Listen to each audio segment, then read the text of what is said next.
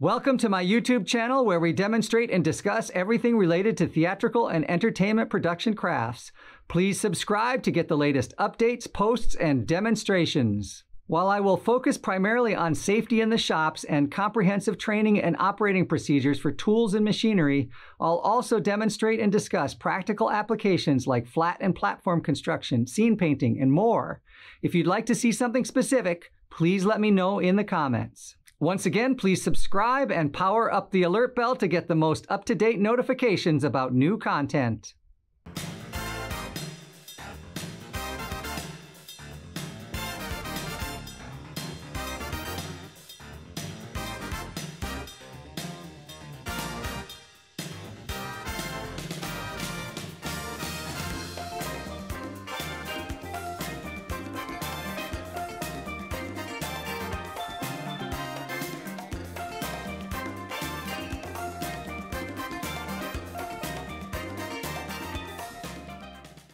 So how do you know what size drill bit to use for pre-drilling? Pre-drilling means drilling a hole in the wood so that the wood doesn't split or to help with a particular task. Some people say use an eighth inch drill bit or a 16th inch drill bit and just use that for all your pre-drilling. I'm going to suggest a slightly different way to pre-drill.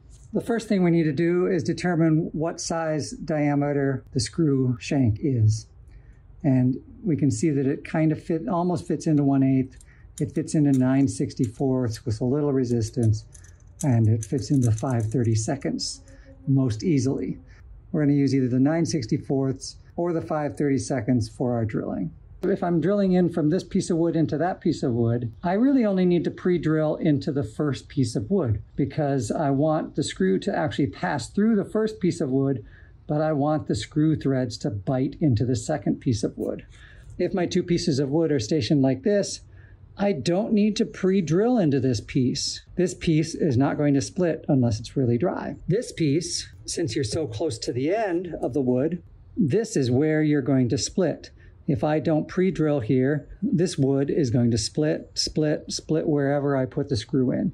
So this is the piece that you want to pre-drill. And you want to pre-drill so that you don't drill into this piece because you want the screw threads to have as much biting power as possible. The two methods that we're discussing is one to use an eighth inch or even a 16th inch drill bit and pre-drill both. And that works just fine. But I think the better way to pre-drill is to pre-drill a hole in this piece of wood so that the screw moves freely through this piece of wood. It doesn't need to bite into this piece of wood. It only needs to bite into that piece of wood. If it's not too big of a diameter, the head of this is going to compress the two pieces of wood together.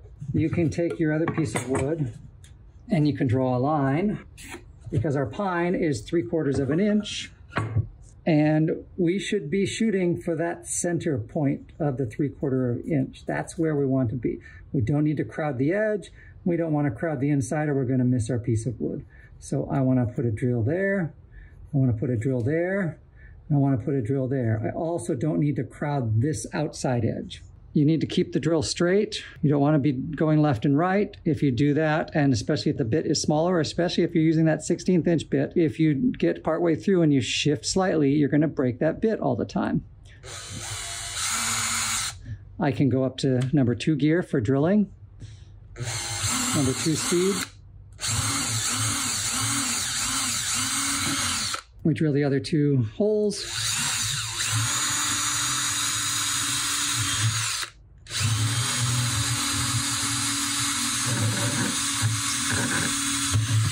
Now, if we've drilled them right, our drywall screw should slide right in through there.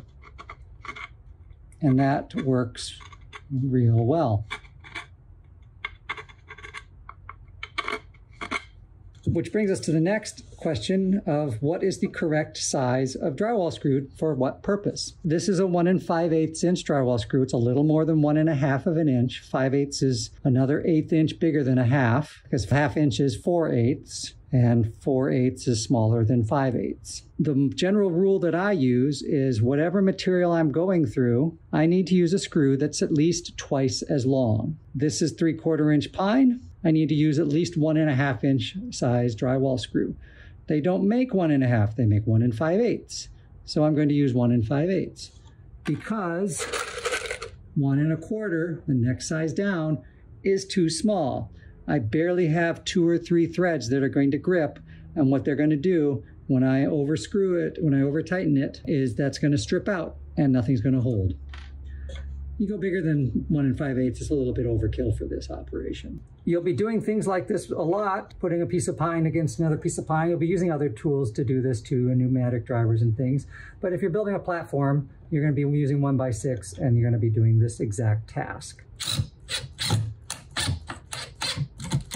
You want to tighten it down until all that gap goes away.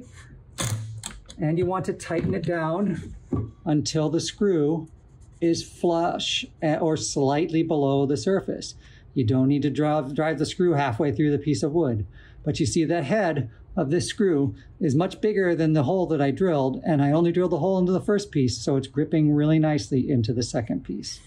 I'm going to straighten this out a little bit so that I can put in my second screw. The other thing before you put in the second screw is that you want to have this first screw really snug and fit. If it's not really snug and fit, what that if there's a gap there, then this screw is going to lock that gap in place and the second screw is going to reinforce that gap. And you're never going to be able to close that gap because all the screws are holding the two pieces of wood apart. So when you put the first one in, make sure the gap is gone and make sure that everything else is snug. And then when I do the second one, I'm going to take up all the rest of the gap.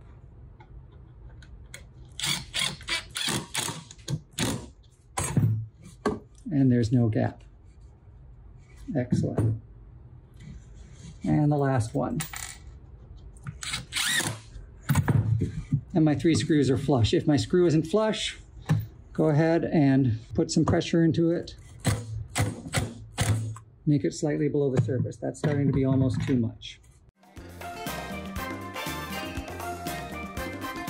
We can also use the impact driver for tightening bolts with a socket. And the socket comes in a variety of sizes, and the socket adapters come in a variety of sizes. This is identified by the diameter of the fitting. This is a quarter inch adapter. This is a 3 8 inch adapter and this is a half inch adapter. And all of the sockets come in a variety of sizes. This is a 7 16ths. You can see it's written on there 7 16ths. And it has a 3 8 inch connector. So I will use the 3 8 inch adapter. The half inch adapter won't fit, and the quarter inch adapter is too loose. 7 16ths is the size of socket you want to use for a quarter inch bolt. The diameter of the shaft of the bolt is a one quarter inch. The distance across the surfaces of the hex head are slightly bigger than that. And quarter inch bolts always have a 7 16ths nut or bolt head. This fits into the 7 16ths.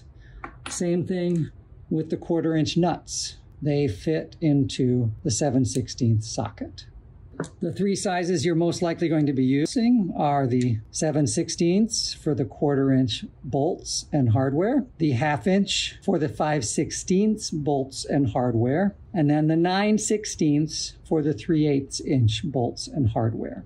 I've color coded our sockets by shank size. These are all color coded yellow, so they go in the yellow bins, and they go. This one goes in the 7 16th bin, this one goes in the half inch bin, and this one goes in the 9 16th bin. White is color coded for the half inch socket, and red is color coded for the quarter inch drive.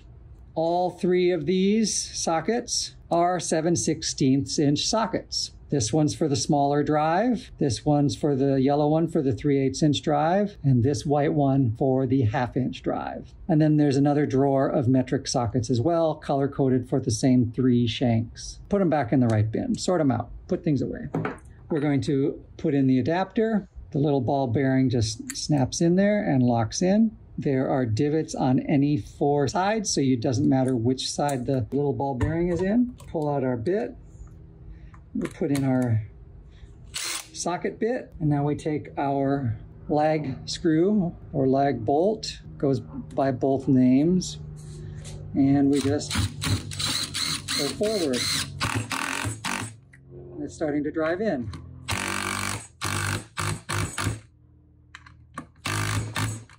What I did wrong here is I did not use a washer.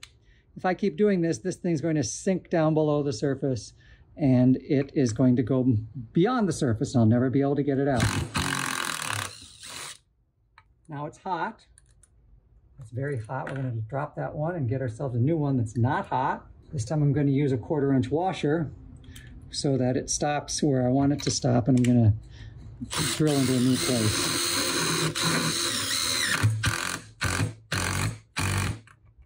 I'm partway in, not complete.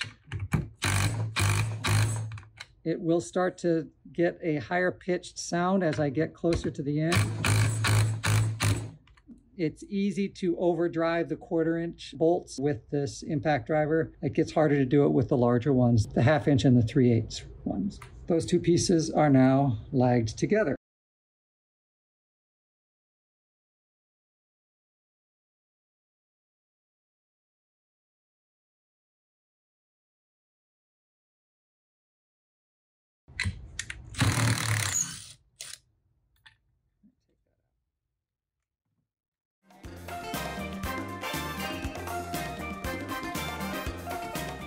Using a cordless drill or impact driver for driving screws has become so ubiquitous that when presented with any screw of any kind, we automatically assume that we should be driving the head of the screw with a power tool. But this is not the case when you are using machine screws with nuts and washers. This happens so frequently with every new class of stagecraft students that I will likely be reposting this video regularly. You might need to take a machine screw and set it into the wood and tighten it with a bolt on the other side. This would be common if we were attaching a caster to the other side. Put your caster where it belongs. And put it over here. The wood's kind of, this wood is kind of old and splitting. I'm gonna mark where the four holes are. We know the diameter of these bolts is a quarter of an inch, right? It fits into the quarter inch. It does not fit into the 15th, 16th bit. It will also fit into the 760, 1764th, the next size up. One of the things that happens if you drill a one quarter inch hole in wood, the wood is kind of expanding and contracting a little bit. It's got a lot of moisture in it. And if you drill the exact size in the wood, I guarantee that feeding this screw through is going to be a tight fit every time. If you're drilling into metal, you want to use the exact size bit because metal is, uh, is less forgiving. It doesn't expand and contract. It doesn't have all the moisture content. If you drill a quarter inch hole in metal, it will be a quarter of an inch. If you drill a quarter inch hole in wood, it's always going to be tight feeding your bolt through. You don't want to use a quarter inch drill to drill that hole. You want to use a 7 16ths or possibly a 9 30 seconds. This bit is a 17 64ths. That's the next size up. And it's just one size after another. The fractions are crazy until you're used to it. Put in my 17 64ths bit. You don't need to remember these numbers because you have this handy gauge. So you can always look at it and say, what's the next size up from one quarter of an inch? It's 17 64ths or 9 30 seconds. So I'm going to drill my four holes.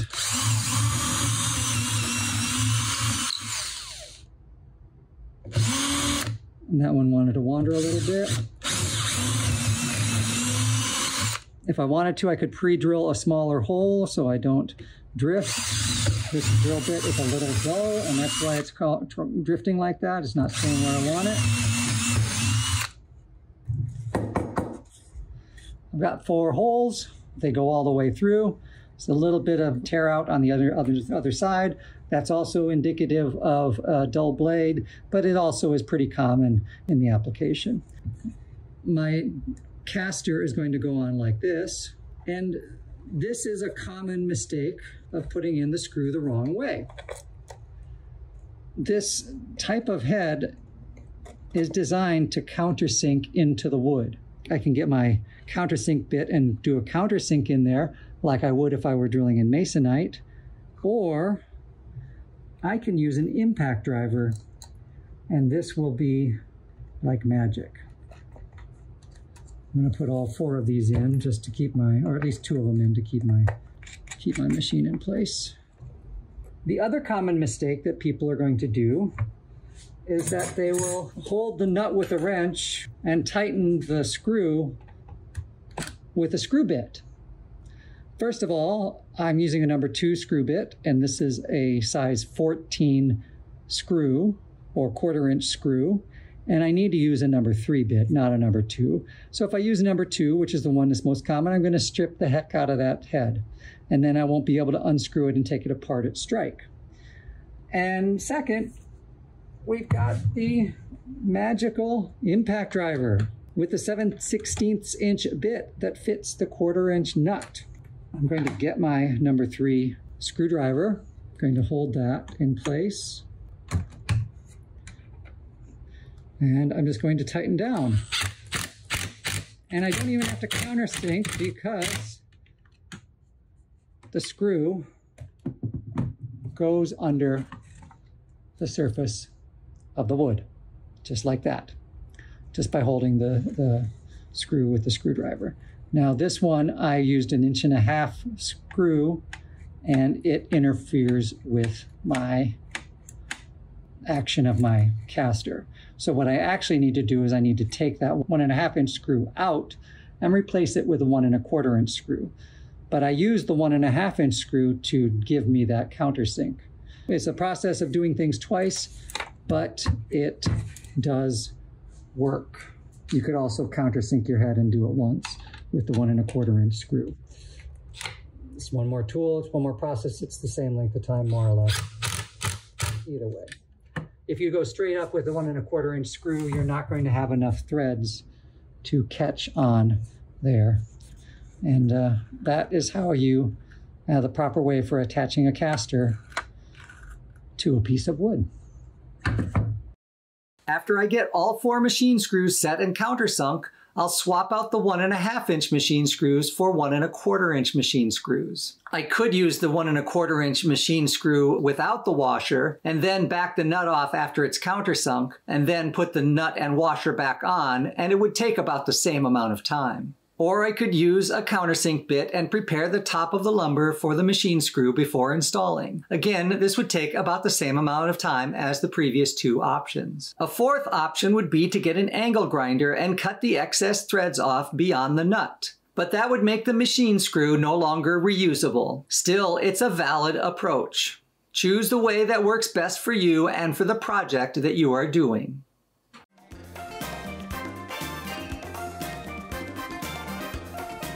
You may want to use a bit adapter. These are designed to hold the bit and some of them have this other sliding sheath that allow you to hide the screw inside so you don't have to hold it with your fingers. You don't have to risk smashing your fingers. You don't have to risk getting your fingers cut up with the threads of the drill bit this one has the shank that will fit the impact driver. So I'm going to use the impact driver for this one. I'm going to use a one and a quarter inch screw because if I use one and five eighths, it's going to go through my two pieces of wood and into my counter. And I don't want to ruin my counter.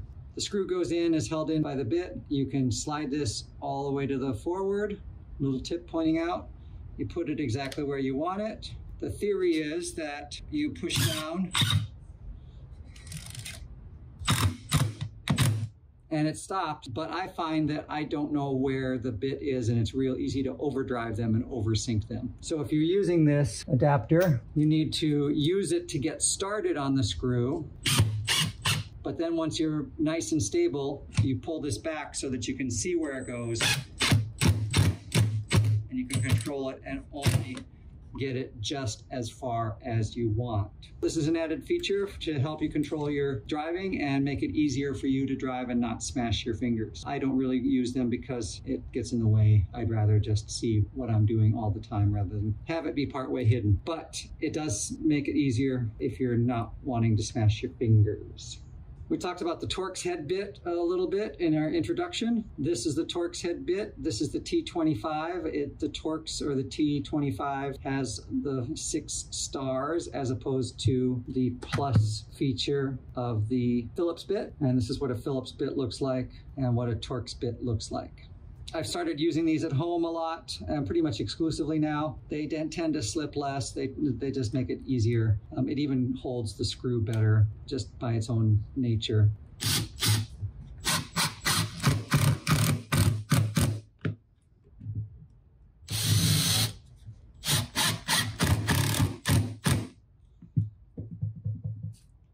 Torx bits.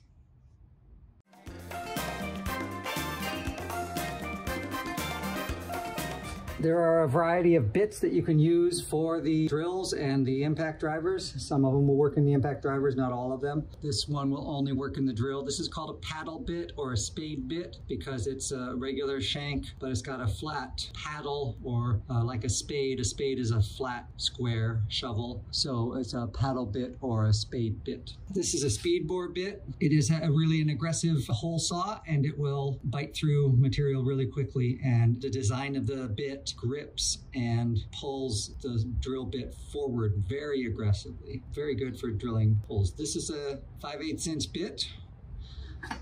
This is also a 5 8 inch bit. They will both drill the same hole. They will just drill it differently. This is a cheaper bit. Obviously, if you're on a budget, you're going to get one of these. And this is a little more expensive bit. This can be a bit aggressive on the tear out on the back side. They, they both can be aggressive on the tear out. This is a hole saw set. This is a quick release version. This pulls back. This goes all the way in. And then when it's all the way in, it snaps forward and you can drill a hole with it. This has a larger shank on it, so this can only be used in a cordless drill. This won't fit in the impact driver. Hole saw. Paddle bit speed bore. This is also a hole saw. This is probably also 5 eighths of an inch. This is 3 quarters of an inch. You can't see it, but it's barely written there. This will also drill holes. This is an auger bit, and this is a different kind of hole saw. Many different ways to drill holes. For your classroom project, if you're doing the birdhouse, you're going to need to pull this kit out and find the appropriate size hole for your birdhouse. When you put things back, release the, uh, the parts, and put them back in the case like that. I'm going to clamp my material to the table so it doesn't move while I'm drilling the holes. We'll start out with the speed bore. The speed bore is the fun one. Make sure I'm going forward, not reverse.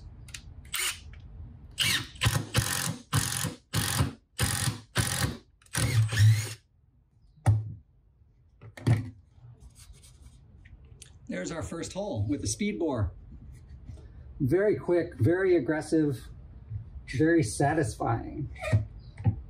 We can't use this in the impact driver because it doesn't have the lock, so I'm gonna put it in a cordless drill. Make sure I'm at my highest torque setting, make sure I'm on my drill mode, and make sure I'm on speed number two. You can do these hole saws in speed number one if you need a little bit more control. Sometimes speed number two can kind of get away from you.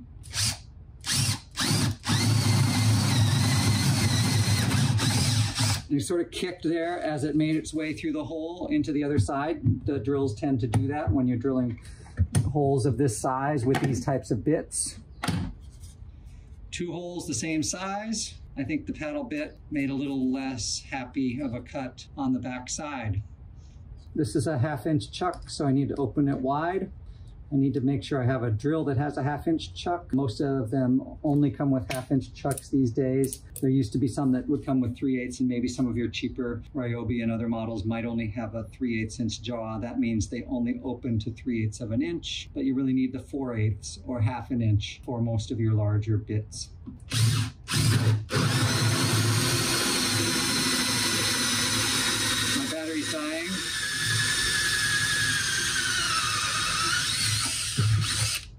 We'll trade that out. Try this one.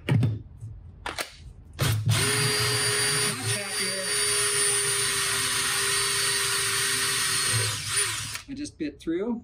Now the thing with these uh, hole saws is that they put the chunk of wood inside. So you have to pry that out either with a screwdriver, and there's usually two holes. So you pry it out with a screwdriver. Or what I like to do when I'm doing repeated cuts with this tool is I won't put it all the way back in. I'll leave it out part way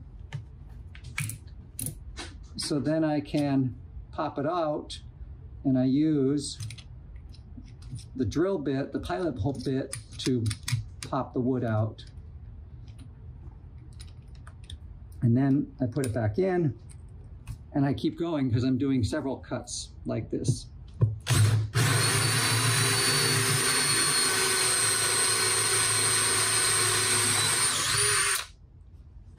Just like that. It can get hot, be aware.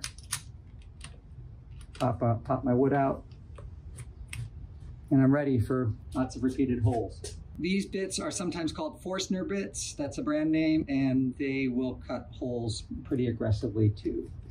They're designed for woodworking, fine woodworking for cutting clean holes.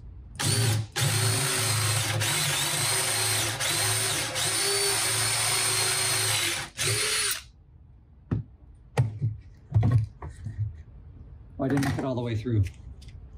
But it's still a pretty clean hole, you can see that. See if I can finish it off.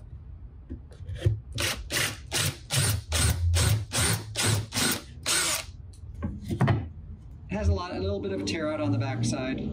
They all do of one kind or another. It looked like the speed bore bit had the least amount of tear out of the various types. But they're going to be that way, differing between types of wood that you use, your setup, how you operate the tool. So there's going to be a lot of variety. This isn't a scientific experiment saying that this one's the best one. Just this one turned out the best right now. Please remember to like, comment, and subscribe, and I'll see you next time with more technical theater content.